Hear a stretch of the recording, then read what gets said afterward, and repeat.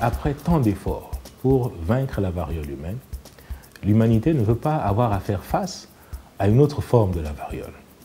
Euh, voilà ce virus qui était du règne animal, qui apparemment s'habitue aux humains, s'humanise en quelque sorte. Est-ce que vous savez que c'est la même crainte que l'humanité a aujourd'hui vis-à-vis de la grippe aviaire? Euh, La grippe aviaire, c'est une grippe qui tue les poulets, essentiellement. Mais lorsqu'on constate que ce même virus commence à infecter les humains, on craint qu'il s'humanise. Et voilà donc que ce monkeypox devient de plus en plus humanisé puisqu'il arrive à créer des épidémies de plusieurs individus ici en République du Congo. Cette forme de la variole a été notée chez le singe. Euh, le virus a été isolé pour la première fois chez le singe. Donc on a appelé le virus monkeypox tout simplement parce que c'était un virus qui a été isolé chez le singe. C'est un virus qui donne des symptômes quasiment identiques aux symptômes de la variole. Euh, c'est pour ça qu'on appelle ça variole du singe. Euh, malheureusement, les humains sont également capables d'être infectés par ce virus et de développer les mêmes symptômes que ceux de la variole, d'où l'appellation variole du singe, même chez l'homme.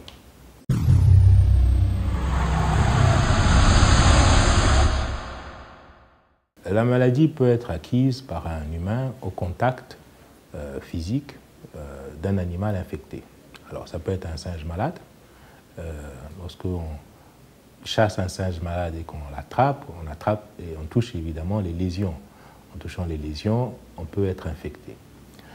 Ça peut être aussi un autre animal, parce que ce virus n'est pas typique ou unique au singe. C'est un virus qui se promène un peu dans la nature. On le retrouve souvent au niveau des rongeurs. Euh, les rongeurs, d'ailleurs, sont souvent des porteurs sains, c'est-à-dire qu'ils peuvent avoir quelques petites lésions, mais très très difficiles à, détecter. les rongeurs sont un peu intéressants parce que vous savez que euh, les rongeurs, dans nos villages notamment, euh, rentrent dans les cases, etc. Et ils peuvent euh, éternuer ou souffler à proximité d'un humain, endormi par exemple, et en inhalant des petites gouttelettes fines contenant du virus, un humain peut s'infecter.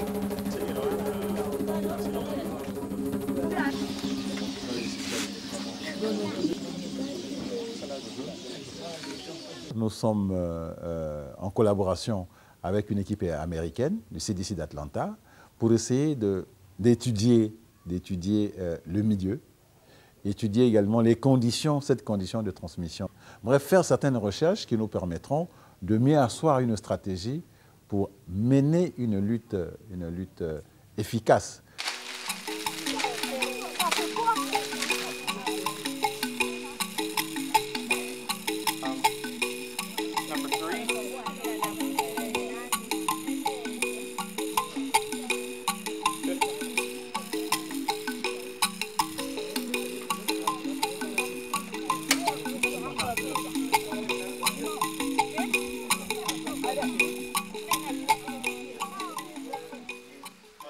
We have not yet found the reservoir of the virus in nature.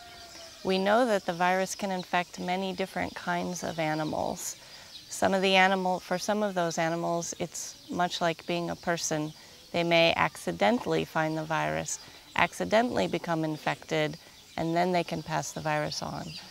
But we know that many small rodents, such as Gambian rats and a very small rodent called a dormouse can become infected with the virus and that the virus can be um, shed from the animal in urine and feces and certainly um, can be shed from the animal's skin.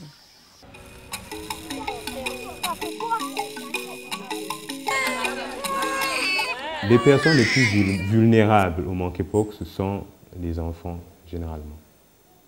Euh, ça s'explique euh, simplement. Ça, vous êtes sans ignorer que les enfants ont une immunité plus faible que celle des adultes et contactent plus facilement le monkeypox que les personnes d'un certain âge. Mais cela ne veut pas dire que les personnes euh, d'une autre tranche d'âge ne peuvent pas être atteintes du monkeypox. Un enfant en contact avec un rat palmiste et touché peut avoir le monkeypox et transmettre le monkeypox à un autre enfant ou à une autre personne L'autre possibilité, c'est le contact direct physique avec l'animal infecté ou surtout avec une lésion de l'animal infecté ou encore le contact physique direct avec un être humain infecté ou avec une lésion euh, d'un être humain infecté.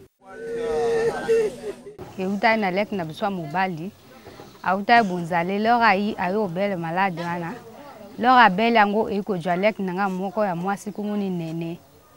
Loro eju nene baoko ti lhopital afandi na lhopital beti ayaki na mwana babia ti komesa mwana ya mabele soki ameli si ekoluki eyamba na mwana ana boko misi toke kota papa mobali papa mobali abi te ana mbongo akosomba mwana na biberon te mama abi te amelisaka mwana. La ekomelisa mwana ya mabele beti ekozwa mpe mwana na ayaki na ba 1 an et demi. La transmission disons directe de la mère au fœtus euh, n'a pas été démontrée.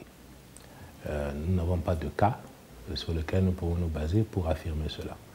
Mais il est clair qu'à partir du moment où vous avez des lésions euh, au niveau d'une femme, enceinte, qu'au moment de l'accouchement, ces lésions peuvent être source de virus qui pourraient alors se transmettre par contact physique direct entre la mère et l'enfant.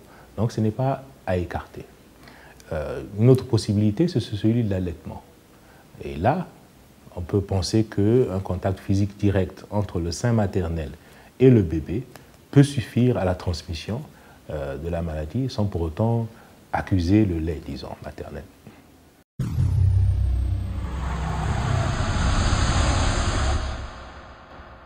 Le monkeypox se caractérise d'abord par une fièvre, une fièvre qui est suivie des boursouflures, c'est-à-dire c'est des, des, excroissances au, niveau de la peau.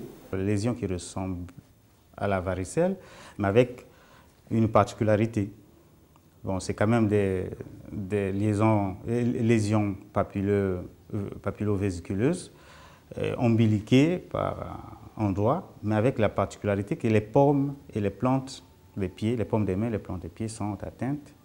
Et euh, la redistribution des, des éruptions, c'est au niveau, euh, beaucoup plus concentré au niveau des membres que au, niveau du thorax.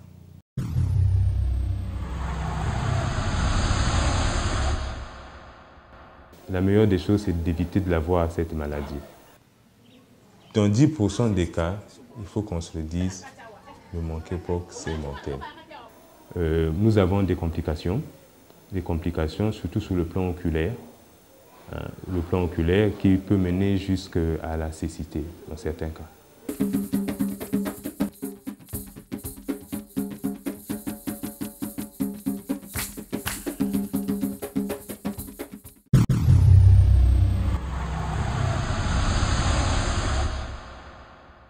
On peut prendre en charge les, malades, euh, on peut déjà traiter les, lésions, on peut empêcher la surinfection, c'est-à-dire qu'il y ait d'autres microbes qui viennent ajouter déjà au fardeau du patient, euh, notamment par une couverture antimicrobienne, par un traitement de la fièvre. Ceci va soutenir le système immunitaire pour combattre le virus.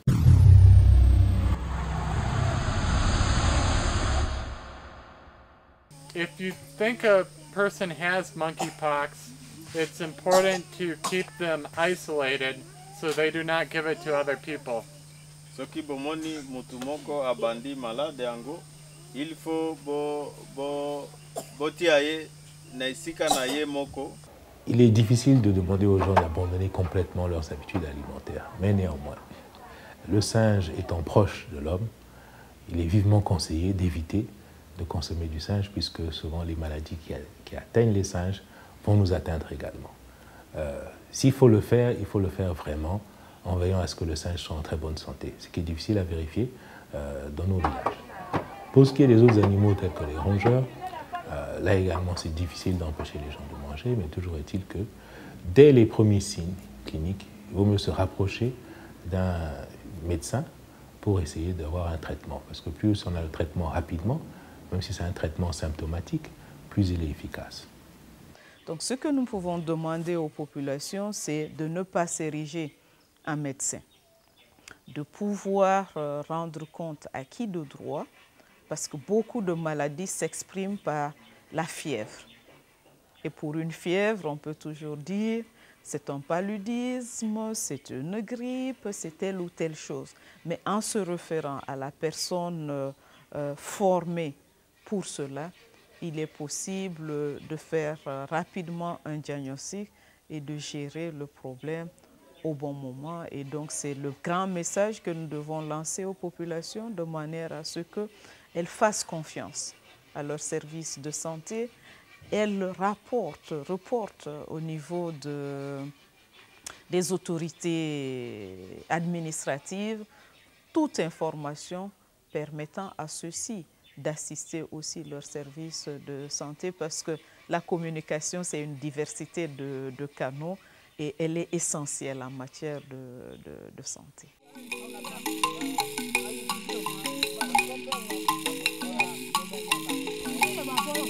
Oh.